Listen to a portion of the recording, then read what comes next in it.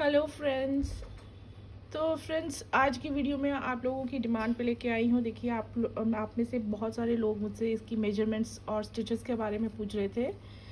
तो ये आज की वीडियो में मैं सारा इसमें मेज़रमेंट और कि, कि, कितने स्टिचेस डालने हैं कहाँ पे वो सब कुछ बताऊँगी।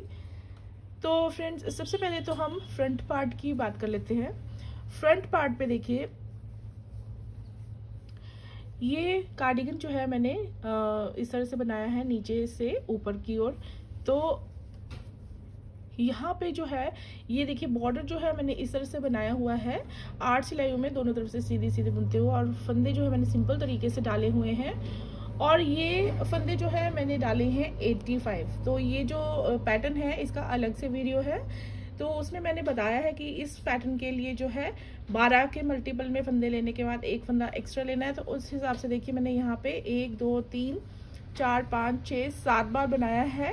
तो ये एट्टी फाइव स्टिचेस जो है, इसके लिए मैंने फ्रंट पार्ट पे डाले हैं। और फिर उसी पर जो है, मैंने ये जो है पैटर्न डाला हुआ है।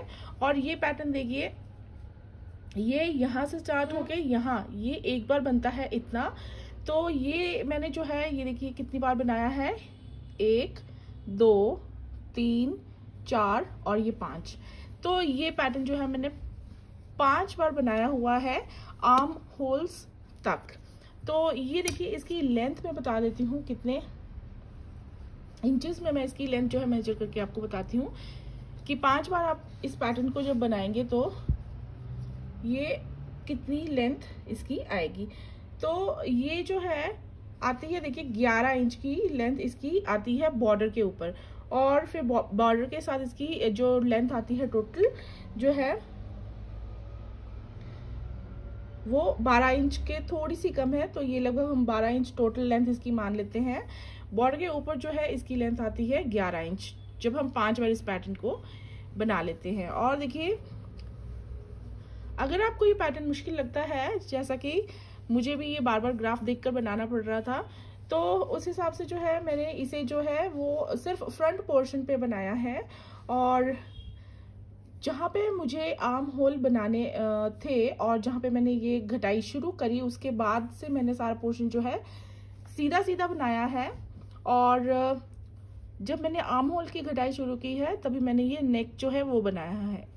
तो तो फ्रेंड्स अगर फ्यूचर में ऐसा कोई मैं नेक डिज़ाइन बनाऊँगी तो मैं उसका पूरा वीडियो ज़रूर शेयर करूँगी।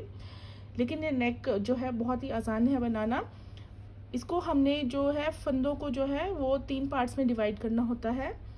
दो पार्ट्स हमारे ये आ जाते हैं और तीसरे पार्ट में ये हमारे पट्टी वाले फंदे आ जाते हैं। कितने फंदों की हमने पट्टी बनानी है। और उन्हीं पर हमने आगे और पीछे की पट्टी जो है वो, जो है अलग अलग से बुननी होती है। तो पहले एक पार्ट हम बनाते हैं, फिर दूसरा पार्ट बनाते हैं। इस तरह से हम इस नेक को बनाते हैं और जब हमारी ये लेंथ आधी हो जाती है, तब हम गले की कटाई करते हैं। तो यहाँ पे मैंने जो गले की कटाई है, वो भी मैं बता दूँ किस हिसाब से की है। यहाँ पे जो मैंने गले की कटाई की है, वो की है छ, चार, तीन और एक। छह फंदे कटाए पहले, फिर चार, फिर तीन, फिर एक। तो छ, चार, तीन, एक की कटाई की है मैंने इस गोल गले के लिए। और जो ये फंदे हैं, ये लगभग मैंने 80 उठाए हैं। और देखिए ये सारा का सारा प्रोजेक्ट जो है, मैंने 11 नंबर की नीडल पर बनाया हुआ है शुरू से लेकर एंड तक। और ये जो वूल है, ये मैं पहले बता चुकी हूँ, बेबी सॉफ्ट वूल है, जो कि 11 नंबर की नीडल पर परफेक्ट चलती है। तो ये 11 नंबर की नीडल पर बनाया है। और इसमें नेक में भी देखिए मैंने बॉर्डर जो है यही बनाया, दोनों तरफ़ से सीधा सीधा तो ये इस तरह से फंदे पिक करने के बाद, गले की कटाई करने के बाद, फंदे पिक करने के बाद जो है 80 फंदों पर ये फंदे बनाए हैं और सिंपल तरीके से कास्ट करे हैं। तो ये तो हो गया फ्रंट पार्ट कितने फंदे मैंने बॉर्डर पे यहाँ पे वो बनाए हैं और कितनी बार ये वाला जो पैटर्न है वो बनाया है। और आर्म आर्म होल्स देखिए हम बच्चों के जो हैं तीन, दो, एक के ही करते हैं ज़्यादातर। और अगर आपके पास ये ज़्यादा फंदे रह जाते हैं तो आप बीच में से एक एक दूर दूर जो है, वो फंदे घटा सकते हैं। तो ऐसा इसमें ज़रूरत नहीं है। तीन, दो, एक की घटाई कर लेंगे। उसके बाद आप सीधा सीधा यहाँ से सीधा सीधा बनाइए। और ये हमारा फ्रंट पार्ट पूरा हो चुका है। तो देखिए, अब ये जो है फ्रंट पार्ट पूरा बनाने के बाद जो है, अब आता है हमारा बैक पार्ट तो ये देखिए, ये इसमें जो है, क्योंकि ये वाला जो जाली थोड़ा सा पैटर्न है, ये थोड़ा सा जाली वाला है। इसलिए मुझे जो है जाली वाला ही डिज़ाइन इसमें डालना था। तो ये जो है, बहुत ही प्यारा लगने वाला छोटी बुनाई का जाली वाला डिज़ाइन है, देखिए। लेकिन देखिए, क्योंकि हम ये वाला पैटर्न जो है, वो ए, दो दो के बीच में जो है दो डिज़ाइन के बीच में डिज़ाइन बना के इस तरह से हम ऑल्टर करते जाते हैं इस डिज़ाइन को तो ये थोड़ा सा श्रिंक होता है। इस तरह से जो भी डिज़ाइन हम डालते हैं, वो थोड़ा सा श्रिंक होता है। तो इसके मुकाबले में ये डिज़ाइन जो है, थोड़ा सा हल्का सा फैलने वाला, बहुत ज़्यादा नहीं, हल्का सा फैलेगा। तो जब आप 85 स्टिचेस इसके लिए डालेंगे, अगर 85 ही पीछे डालेंगे, ये तो थोड़ा सा एक्सपेंड होगा ये वाला। इसलिए मैं आपको पीछे वाले पार्ट के लिए, अगर आपको यही डिज़ाइन बनाना है तो मैं आपको सजेस्ट करूँगी आप 78 स्टिचेस पीछे वाले पार्ट्स में डालिए। और अगर आपको जाली वाला पार्ट नहीं बनाना है तो देखिए बारीक बुनाई के बहुत सारे डिज़ाइन जो हैं, वो मेरे चैनल पर आपको मिल जाएँगे। आप कोई भी डिज़ाइन जो है बना सकते हैं और उसे ही स्लीव्स पर डाल सकते हैं। तो यहाँ पे देखिए मैंने स्लीव्स पे और बैक पार्ट पे जैसे ये डिज़ाइन डाला है, वैसे ही आप कोई और बिना जाली वाला डिज़ाइन भी डाल सकते हैं। तो बहुत सारे ऐसे डिज़ाइन आपको मेरे चैनल पर मिल जाएँगे और मैंने ऐसे कई प्रोजेक्ट्स जो हैं ट्राई किए हुए बहुत अच्छे लगते हैं। तो ये बैक वाले पार्ट पे भी देखिए बॉर्डर इस तरह से बनाना है और फंदे जो है सेवेंटी एट डालने हैं और ये पैटर्न भी आपको मेरे चैनल पर मिल जाएगा। तो लेंथ जो है वो हमारे आगे और पीछे की सेम ही रहती है। आर्म होल्स भी हमारे सेम होते हैं और आर्म होल्स के ऊपर लेंथ आपने जितनी शोल्डर लेंथ आगे वाले पार्ट की बनी है, उतनी ही पीछे वाली पार्ट की बनाइए। और अगर आपको पहला, पहले पीछे वाला पार्ट बनाना है जल्दी जल्दी तो आप पीछे वाला पार्ट बना लीजिए। और आर्म होल बनाने के बाद देखिए हमारी ये वाली जो लेंथ आती है, ये हमारी देखिए इस तरह से हम स्लैंटिंग पोजीशन पर रखेंगे, ये तो छः इंच आती है।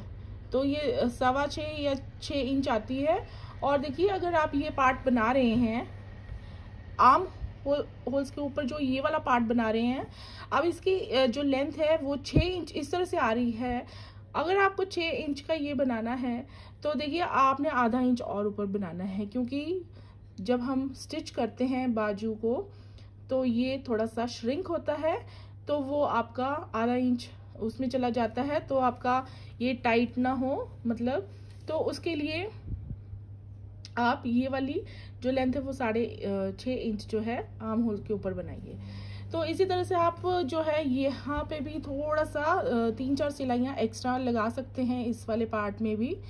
तो इस, क्योंकि ये जब हम ये पार्ट्स सिलाई करते हैं स्टिच करते हैं तो काफ़ी लोग जो है थोड़े टाइट हाथों से करना पसंद करते हैं तो उसमें श्रिंक हो के थोड़ी लेंथ को कम कर देता है। तो ये देखिए, ये हम बनाएँगे साढ़े छः इंच स्टिच करने से पहले साढ़े छः इंच हम बनाएँगे।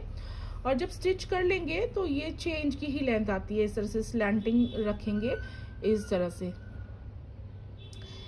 तो अब हमारे देखिए, ये पार्ट्स जो हैं, आगे और पीछे वाले पार्ट्स मैंने आपको बता दिए हैं कि कितने स्टिचेस डालने हैं, क्या मेज़रमेंट है इंचेस में। और अब लास्ट में हमारी बारी आती है स्लीव्स की तो स्लीव्स तो दोनों एक ही तरह से बनेंगे। और इसमें देखिए, फंदे किस हिसाब से लेने हैं। फंदे आप, यहाँ पे मैंने फंदे लिए हैं चालीस। तो आप चालीस फंदे ले सकते हैं। और चालीस फंदे लेने के बाद देखिए बॉर्डर बना लीजिए। उसके बाद देखिए बॉर्डर बनाने के बाद अक्सर हम जो है ऊपर जो है फंदों को बढ़ा लेते हैं। बच्चों के लिए हम चार पाँच फंदे बढ़ा लेते हैं तो हम ऊपर जो है चार फंदे बढ़ा लेंगे। यहाँ पे हम 40 स्टिचेस डालेंगे, बॉर्डर बना लेंगे, उसके बाद चार फंदे इंक्रीज करेंगे और उसके बाद इस पैटर्न को अप्लाई करेंगे। और देखिए, हमने फंदे बढ़ाने शुरू करने हैं। थोड़ी सी लेंथ जो है, यहाँ पे देखिए, मैंने तीन बार ये डिज़ाइन डाला हुआ है।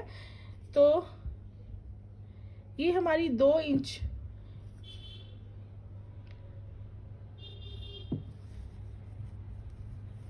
डेढ़ इंच की लेंथ बनाने के बाद, बॉर्डर के ऊपर डेढ़ इंच की लेंथ बनाने के बाद मैंने जो है इसमें फंदों को बढ़ाना शुरू किया हुआ है। हर चौथी सिलाई में फ्रंट साइड रो पे, दोनों साइड। तो उसके बाद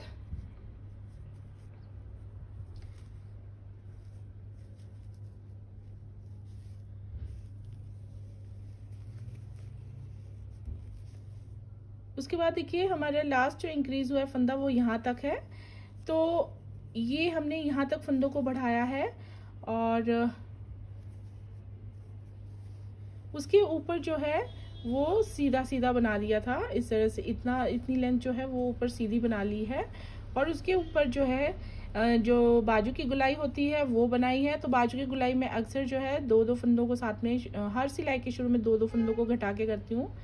और उसके बाद देखिए कितनी बार, एक, दो, तीन तीन बार डिज़ाइन डालने के बाद मैंने सारे के सारे फंदे फिर कास्ट ऑफ़ कर दिए थे। तो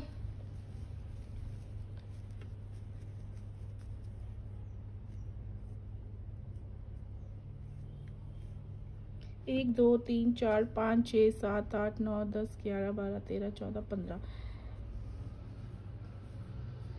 पंद्रह, सोलह, सत्रह, अठारह, उन्नीस, बीस, इक्कीस, बाईस, तेईस, चौबीस, पच्चीस, छब्बीस सत्ताईस, अट्ठाईस, उनतीस, तीस, इकतीस। तो ये जो फंदे जो है लास्ट मैंने सिक्सटी फोर तक इंक्रीज करे हुए हैं। ये आप 64 तक इंक्रीज कर सकते हैं और आप उस हिसाब से देख सकते हैं अपने बच्चों के, बाजू के साइज़ के हिसाब से इसे देखिए। और यहाँ पे मैंने ये 64 और 66 तक शायद ये इंक्रीज करे हुए हैं। उसके ऊपर थोड़ी सी लेंथ सीधी सीधी बनाई हुई है। तो आप ये जो है लास्ट आप 64 या 66 तक इंक्रीज कर सकते हैं बाजू को। तो तो काफ़ी लोगों को जो है ये स्वेटर जो है ये मैंने बनाया था। ये बहुत पसंद आया है, ये पैटर्न बहुत पसंद आया है। तो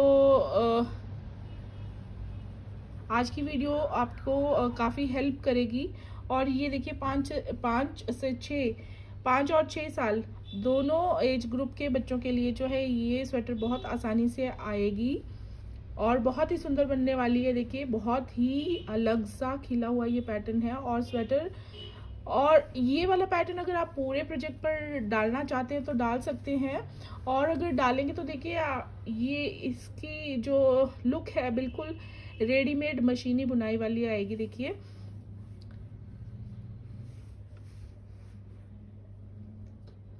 तो वीडियो पसंद आई हो फ्रेंड्स तो प्लीज़ लाइक कर दीजिए चैनल को सब्सक्राइब कर दीजिए जिन्होंने नहीं किया है अभी तक।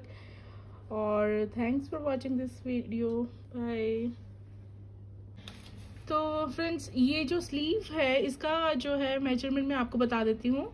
ये अगर यहाँ से यहाँ हम नीचे वाले पोर्शन पर रखेंगे तो ये देखिए लगभग दस इंच दस से थोड़ी सी ज़्यादा है बॉर्डर के साथ। तो साढ़े दस इंच की लेंथ हम इसकी रखेंगे यहाँ से। फिर जब साढ़े दस इंच की लेंथ हो जाएगी, उसके बाद हम गुलाई करना शुरू करेंगे। तो ये पैटर्न देखिए, अगर यही बनाना है तो देखिए ये कितना, कितनी बार बनाएँगे? एक, दो, तीन, चार, पाँच, छः, सात, आठ, नौ, दस, ग्यारह, बारह, तेरह, चौदह, पंद्रह, सोलह, सत्रह, अठारह, उन्नीस। उन्नीस बार ये वाला पूरा बना है। और उसके बाद बीस, इक्कीस, बाईस, तेईस। उसके बाद गोलाई में जो है हमारे चार बार ये पैटर्न इस तरह से आ जाएगा। और अब यहाँ पे हम इस साइड से रखेंगे तो ये थोड़ा सा ज़्यादा ही आता है। तो ये हमारी टोटल लेंथ आती है बारह से, थोड़ी सी ज़्यादा है, साढ़े बारह इंच लेंथ जो है हमारी, ये ऊपर बाजू पे हमारी इतनी आती है। तो ये हमारी स्लीव्स की लेंथ आ जाती है। और अब देखिए, अब ये पूरे प्रोजेक्ट की जो लेंथ है, वो भी हम मेजर कर लेते हैं। और फिर इसकी चौड़ाई जो विर्थ है वो भी नाप लेते हैं। तो अगर आप बेबी बुल ही बनाएँगे आ, से ही अगर आपको बनाना है तो देखिए ये हमारी चौड़ाई जो है ये आ जाएगी। ये हमारी लगभग साढ़े बारह ये वाली जो चौड़ाई है ये लगभग हमारी बारह साढ़े बारह इंच आ जाती है। और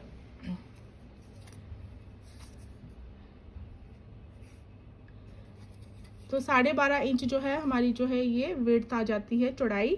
और अब पूरे जो ये हमारा जो स्वेटर है, उसकी लंबाई भी देख लेते हैं टोटल लंबाई कितनी आती है।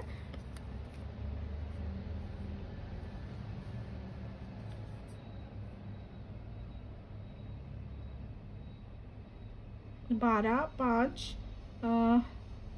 तेरह, चौदह, पंद्रह, सोलह, सत्रह। तो ये हमारी जो है पूरी टोटल जो लेंथ है स्वेटर की, ये साढ़े सत्रह इंच के लगभग आई है। तो ये हमारा जो है कार्डिगन का पूरा मेज़रमेंट है। तो बनाइए फिर।